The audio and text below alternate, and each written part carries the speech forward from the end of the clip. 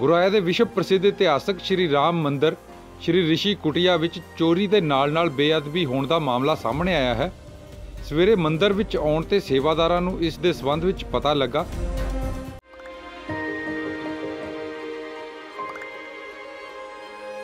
मिलके हम पंजाब को रंगला पंजाब बनाएंगे ਔਰ ਬਿਜਲੀ ਕੇ ਮਾਮਲੇ ਮੇਂ ਪੰਜਾਬ ਕੋ ਸਰਪਲਸ ਬਣਾਏਗੇ 24 ਘੰਟੇ ਬਿਜਲੀ ਰਹਿੰਦੀ ਹੈ ਜੀ ਕੋਈ ਦਿੱਕਤ ਨਹੀਂ ਬਿਜਲੀ ਦੀ ਸਾਨੂੰ ਗਰੀਬਾਂ ਦਾ ਜਿਉਣ ਦਾ ਸਤਰ ਜਿਹੜਾ ਜੀਵਨ ਉੱਚਾ ਪੱਧਰ ਦਾ ਕਿਵੇਂ ਚੱਕ ਸਕਦੇ ਹਾਂ ਇਹ ਸਾਡੀਆਂ ਪ੍ਰਾਇੋਰਟੀਆਂ ਨੇ ਮੇਰੇ ਤੇ ਯਕੀਨ ਤੁਸੀਂ ਕੀਤਾ ਤਾਂ ਯਕੀਨ ਰੱਖਿਓ ਮੈਂ ਤੁਹਾਡਾ ਯਕੀਨ ਕਦੇ ਟੁੱਟਣ ਨਹੀਂ ਦਊਂਗਾ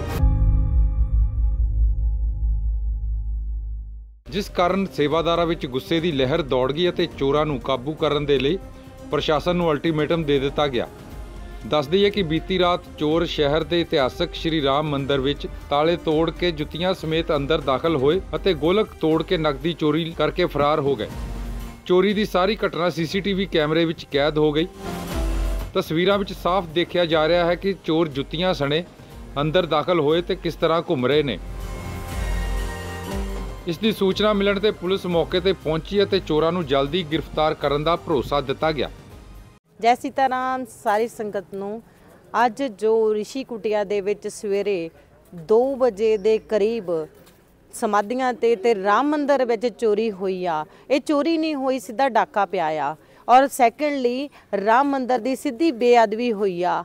ਚੱਪਲਾਂ ਦੇ ਨਾਲ ਰਾਮ ਮੰਦਰ ਦੇ ਵਿੱਚ ਜਾਣਾ, ਸਾਰੀਆਂ ਸਮਾਧਾਂ ਦੇ ਅੱਗੇ, ਸਾਰੀਆਂ ਸਮਾਧਾਂ ਦੇ ਵਿੱਚ ਰਾਮ ਮੰਦਰ ਦੇ ਵਿੱਚ ਜਾਣਾ, ਕੰਧ ਨੂੰ ਪਾੜ ਕੇ ਚੋਰ ਅੰਦਰ ਆਏ ਨੇ। ਔਰ it's not related with the Sanatan Dharma, ਇਹ ਸਾਰੀਆਂ, ਸਾਰੇ ਧਰਮਾਂ ਨਾਲ ਰਿਲੇਟਡ ਮੰਦਰ ਆ। ਸਾਰੇ ਧਰਮਾਂ ਦੇ ਲੋਕ ਇੱਥੇ ਆਉਂਦੇ ਨੇ ਔਰ ਬੜੀਆਂ ਖੁਸ਼ੀਆਂ ਲੈ ਕੇ ਜਾਂਦੇ ਨੇ। ਪਰ ਅੱਜ ਸਾਡੀਆਂ ਰੂਹਾਂ ਤੇ ਵਾਰ ਕਰਕੇ ਗਏ ਨੇ ਉਹ। 22 ਤਰੀਕ ਤੋਂ ਪਹਿਲਾਂ ਪਹਿਲਾਂ ਅਸੀਂ ਚਾਹੁੰਦੇ ਆ ਕਿ ਇਹਨਾਂ ਨੂੰ ਫੜਿਆ ਜਾਵੇ। ਪੁਲਿਸ ਪ੍ਰਸ਼ਾਸਨ ਨੂੰ ਸਾਡੀ ਬੇਨਤੀ ਆ ਕਿ ਇਹਨਾਂ ਨੂੰ ਫੜਿਆ ਜਾਵੇ। ਜੇ ਕੱਲ ਨੂੰ ਕੋਈ ਵੀ ਇੱਥੇ ਕੋਈ ਪ੍ਰੋਬਲਮ ਹੁੰਦੀ ਹੈ ਸੰਗਤ ਵਿੱਚ ਕੋਈ ਪ੍ਰੋਬਲਮ ਹੁੰਦੀ ਹੈ ਤਾਂ ਰਿਸਪੌਂਸੀਬਲ ਅਸੀਂ ਨਹੀਂ ਹੋਵਾਂਗੇ।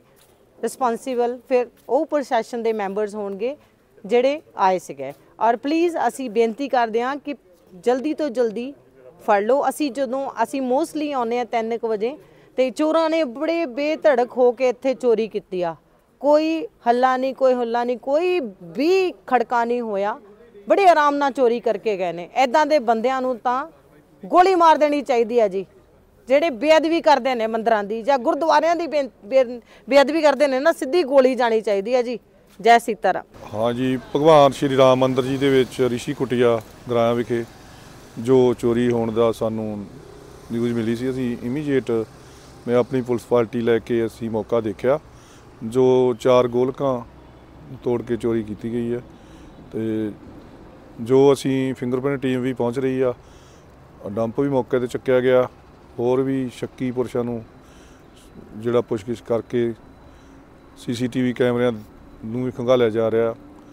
ਅਸੀਂ ਜੋ ਹਰ ਸੰਭਵ ਕੋਸ਼ਿਸ਼ ਕਰਕੇ ਇਸ ਚੋਰੀ ਦੀ ਵਾਰਦਾਤ ਨੂੰ ਜਲਦੀ ਟ੍ਰੇਸ ਕਰਾਂਗੇ। ਇਨਵੈਸਟੀਗੇਸ਼ਨ ਚੱਲ ਰਹੀ ਹੈ। ਕਿੰਨੇ ਸੀਸੀਟੀਵੀ 'ਚ ਕਿੰਨੇ ਕੁ ਬੰਦੇ ਦੇਖੇ ਜੀ? ਤੁਸੀਂ ਕਿੱਦਾਂ ਐਂਟਰ ਕਿੱਦਾਂ ਕੀਤਾ ਜੀ ਚੋਰ?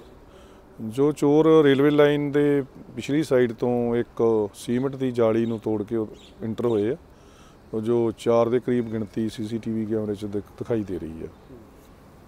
ਕੋਈ ਕੈਸ਼ ਵਗੈਰਾ ਹਲੇ ਦੱਸਿਆ ਜੀ? ਕੀ ਕੁਛ ਹੋ ਗਿਆ ਅੰਦਰੋਂ ਹੋਰ ਇਸ ਤੋਂ ਇਲਾਵਾ? ਕੈਸ਼ ਤਾਂ ਬੰਦ ਗੋਲਕਾਂ ਨੇ ਜਿਸ ਬਾਰੇ ਕੋਈ ਇਹਨਾਂ ਨੇ ਅੰਦਾਜ਼ਨ ਦੱਸਿਆ ਕਿ ਲੱਖ ਦੇ ਕਰੀਬ ਕੈਸ਼ ਹੋ ਸਕਦਾ ਵਿੱਚ।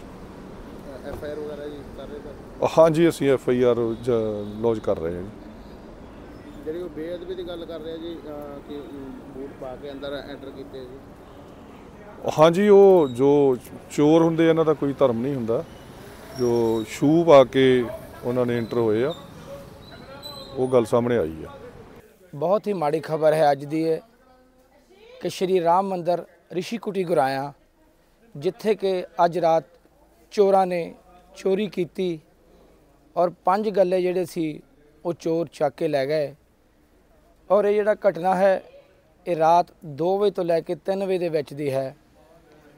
ਇਹ ਉਦੋਂ ਪਤਾ ਲੱਗਾ ਜਦੋਂ ਸਾਡੇ ਪੁਜਾਰੀ ਜੀ 3:30 ਵਜੇ ਉੱਠ ਕੇ ਰੁਟੀਨ ਦੀ ਤਰ੍ਹਾਂ ਜਦੋਂ ਉਹਨੇ ਦੇਖਿਆ ਕਿ ਸ਼ਟਰ ਖੁੱਲੇ ਆ, ਸ਼ਿਵਜੀ ਮੰਦਿਰ ਦੇ ਵੀ, ਬਾਬਾ ਬਾਲਕ ਦਾਸ ਜੀ ਦੀ ਵੀ ਰਿਸ਼ੀ ਜੀ ਮਹਾਰਾਜ ਦੇ ਔਰ ਸਾਰੇ ਦਰਵਾਜ਼ੇ ਖੁੱਲੇ ਹੋਏ ਸਨ। ਚੋਰ ਰੇਲਵੇ ਸਾਈਡ ਤੋਂ ਆ ਕੇ ਉਹਨਾਂ ਨੇ ਪਿੱਛੋਂ ਜਾਲੀ ਵਾਲਾ ਦਰਵਾਜ਼ਾ ਤੋੜਿਆ। ਜਾਲੀ ਵਾਲੀ ਜਿਹੜੀ ਸੀਮਟ ਦੀ ਸੀ, ਉਹਨੂੰ ਤੋੜਿਆ ਔਰ ਤੋੜ ਕੇ ਐਂਟਰ ਕੀਤੇ। ਔਰ ਉਹਨਾਂ ਨੇ ਸਾਰੇ ਗੱਲੇ ਜਿਹੜੇ ਕਿ ਉਹ ਚੁੱਕ ਕੇ ਲਾਈਨਾਂ ਵੱਲ ਪਿੱਛੇ ਲੈ ਗਏ ਔਰ ਉਸ ਗੱਲਿਆਂ ਦੇ ਵਿੱਚ ਉਹਨਾਂ ਨੇ ਪੈਸੇ ਸਾਰੇ ਕੱਢ ਲਏ ਔਰ ਗੱਲੇ ਪਿੱਛੇ ਛੱਡ ਗਏ। ਔਰ ਸਭ ਤੋਂ ਵੱਡਾ ਦੁੱਖ ਸਾਨੂੰ ਸਾਰਿਆਂ ਭਗਤਾਂ ਨੂੰ ਇਹ ਲੱਗਾ ਕਿ ਜਦੋਂ ਉਹ ਸਾਡੇ ਮੇਨ ਮੰਦਰ ਜਿਹੜੇ ਰਾਮ ਜੀ ਦਾ ਮੰਦਿਰ ਹੈ, ਹਨੂਮਾਨ ਜੀ ਦਾ ਹੈ ਮਾਤਾ ਜੀ ਬੈਠੇ ਆ, ਉਸ ਮੰਦਿਰ 'ਚ ਬੂਟ ਪਾ ਕੇ, ਜੁੱਤੀਆਂ ਪਾ ਕੇ ਅੰਦਰ ਗਏ। ਉਹਦੇ ਨਾਲ ਸਾਰੇ ਭਗਤਾਂ ਦੀ ਜਿਹੜੀ ਬੜਾ ਠੇਸ ਪਹੁੰਚੀ ਉਹਨਾਂ ਨੂੰ ਕਿ ਜਿਹੜੇ ਅੱਜ ਤੱਕ ਸਿਰਫ ਪੁਜਾਰੀ ਸਾਡੇ ਜਾਂਦੇ ਸੀ ਉਸ ਮੰਦਿਰ ਦੇ ਵਿੱਚ, ਕਦੀ ਕੋਈ ਗ੍ਰਸਤੀ ਅੱਜ ਤੱਕ ਉਸ ਮੰਦਿਰ 'ਚ ਨਹੀਂ ਗਿਆ। ਔਰ ਇਹਨਾਂ ਚੋਰਾਂ ਨੇ ਬਹੁਤ ਵੱਡੀ ਬੇਅਦਬੀ ਕੀਤੀ, ਜਿਹੜੀ ਕਿ ਇਹਨਾਂ ਨੇ ਆ ਕੇ ਮੰਦਿਰ ਸਾਡੇ ਆ ਕੇ ਜੁੱਤੀਆਂ ਪਾ ਕੇ, ਬੂਟ ਪਾ ਕੇ ਜਿਹੜੇ ਅੰਦਰ ਗਏ ਆ, ਇਸ ਨਾਲ ਸਾਡੇ ਸਾਰੇ ਸਮਾਜ ਨੂੰ ਬੜਾ ਦੁੱਖ ਲੱਗਾ ਹੈ। ਉਸ ਤੋਂ ਬਾਅਦ ਸਾਡੇ ਪੁਲਿਸ ਪ੍ਰਸ਼ਾਸਨ ਨੂੰ ਫੋਨ ਕੀਤਾ ਗਿਆ ਔਰ ਉਹਨਾਂ ਨੇ ਆ ਕੇ ਮੌਕੇ ਤੇ ਸਾਰਾ ਕੁਝ ਇੱਥੇ ਚੈੱਕ ਕੀਤਾ ਔਰ ਸੀਸੀਟੀ ਕੈਮਰੇ ਵਿੱਚ ਵੀ ਆ ਰਹੀ ਆ ਉਹਨਾਂ ਦੀ। ਅਸੀਂ ਇਹ ਮੰਗ ਕਰਦੇ ਹਾਂ ਸਾਰੇ ਭਗਤ ਜਨ ਸੇਵਾਦਾਰ, ਪੁਲਿਸ ਪ੍ਰਸ਼ਾਸਨ ਨੂੰ ਇਹੀ ਬੇਨਤੀ ਆ ਕਿ ਜਲਦੀ ਤੋਂ ਜਲਦੀ ਜਿਹੜੇ ਚੋਰ ਆ, ਇਹ ਫੜੇ ਜਾਣ, ਜਿਨ੍ਹਾਂ ਦੇ ਸਾਡੀ ਇਸ ਮਰਿਆਦਾ ਨੂੰ ਭੰਗ ਕੀਤਾ ਹੈ, ਜਿਨ੍ਹਾਂ ਨੇ ਆ ਕੇ ਸਾਨੂੰ ਸਾਰੇ ਭਗਤਾਂ ਨੂੰ ਠੇਸ ਪਹੁੰਚਾਈ ਹੈ, ਜਿਹੜੇ ਅੰਦਰ ਭਗਵਾਨ ਦੀਆਂ ਮੂਰਤੀਆਂ ਤੱਕ ਪਹੁੰਚ ਗਏ ਆ ਸਾਨੂੰ ਇਸ ਗੱਲ ਦਾ ਬੜਾ ਦੁੱਖ ਹੈ ਔਰ ਅਸੀਂ ਸਾਰੇ ਸੇਵਾਦਾਰ ਜਿੰਨੇ ਵੀ ਆ ਇਹੀ ਸਾਡੀ ਬੇਨਤੀ ਹੈ ਕਿ ਜਲਦੀ ਤੋਂ ਜਲਦੀ ਪ੍ਰਸ਼ਾਸਨ ਇਹਨਾਂ ਚੋਰਾਂ ਨੂੰ ਫੜੇ ਔਰ ਅਸੀਂ ਇੱਕ ਹੋਰ ਹੈ ਸੇਵਾਦਾਰਾਂ ਵੱਲੋਂ ਕਿ ਅਗਰ ਕਿਸੇ ਨੂੰ ਇਹਨਾਂ ਦਾ ਪਤਾ ਲੱਗੇ ਤਾਂ 1 ਲੱਖ ਰੁਪਏ ਦਾ ਨਾਮ ਦਿੱਤਾ ਜਾਏਗਾ ਔਰ ਜਿਹੜਾ ਵੀ ਦੱਸੇਗਾ, ਉਹਦਾ ਨਾਂ ਗੁਪਤ ਰੱਖਿਆ ਜਾਏਗਾ ਔਰ ਕੋਈ ਦੱਸਿਆ ਨਹੀਂ ਜਾਏਗਾ ਉਸ ਨੂੰ ਕਿ ਉਹਦੇ ਬਾਰੇ ਕਿ ਕਿਹਨੇ ਦੱਸਿਆ ਹੈ ਸਾਨੂੰ। ਸੋ ਸਾਡੀ ਇਹੀ ਮੰਗ ਹੈ ਕਿ ਚੋਰਾਂ ਨੂੰ ਜਲਦੀ ਜਲਦੀ ਫੜਿਆ ਜਾਵੇ ਔਰ ਜਿਹੜੇ ਸਾਡੇ ਭਗਤ ਜਾਨਾ ਤਾਂ ਕਿ ਉਹਨਾਂ ਦੇ ਮਨ ਨੂੰ ਇਹ ਪਤਾ ਲੱਗੇ ਕਿ ਵਾਕਿਆ ਹੀ ਸਾਡਾ ਪੁਲਿਸ ਪ੍ਰਸ਼ਾਸਨ ਸਹੀ ਕੰਮ ਕਰ ਰਿਹਾ ਹੈ। ਸੋ ਸਖਤ ਤੋਂ ਸਖਤ ਸਜ਼ਾ ਸਜ਼ਾ ਦਿੱਤੀ ਜਾਵੇ। ਸਾਰੇ ਸ਼ਹਿਰ ਵਾਸੀ ਰੋਸ ਚ ਆ ਕਿ ਜਲਦੀ ਤੋਂ ਜਲਦੀ ਪੁਲਿਸ ਪ੍ਰਸ਼ਾਸਨ ਇਹਦਾ ਹੱਲ ਕਰੇ। ਦੈਨਿਕ ਸਵੇਰਾ ਟੀਵੀ ਦੇ ਲਈ ਗੁਰਾਇਆ ਤੋਂ ਸੁਰਿੰਦਰ ਕੰਬੋਜ ਦੀ ਰਿਪੋਰਟ।